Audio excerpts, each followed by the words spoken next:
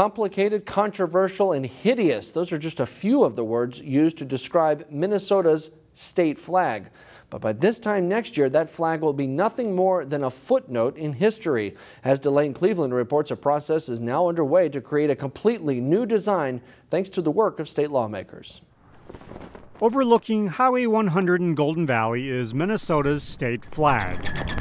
It depicts the imagery found on the state seal of a farmer working in the field and a Native American on horseback, but it's not something many would consider as iconic. Honestly, not much comes to mind when I think of the current state flag. In fact, State Representative Mike Freiberg says the flag is not only boring, but problematic. It was designed very deliberately to depict white farmers displacing Native Americans.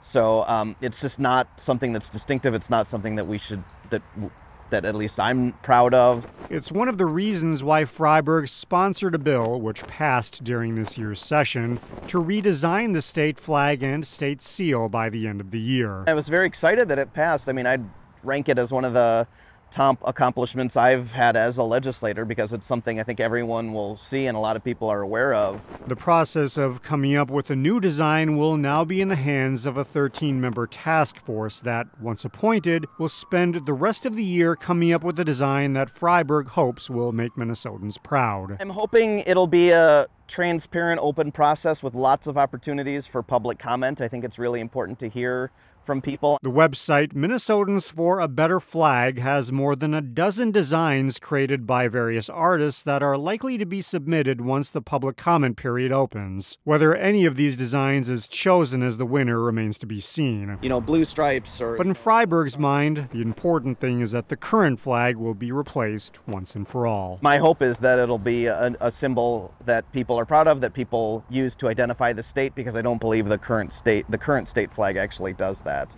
In Golden Valley, Delaine Cleveland, CCX News.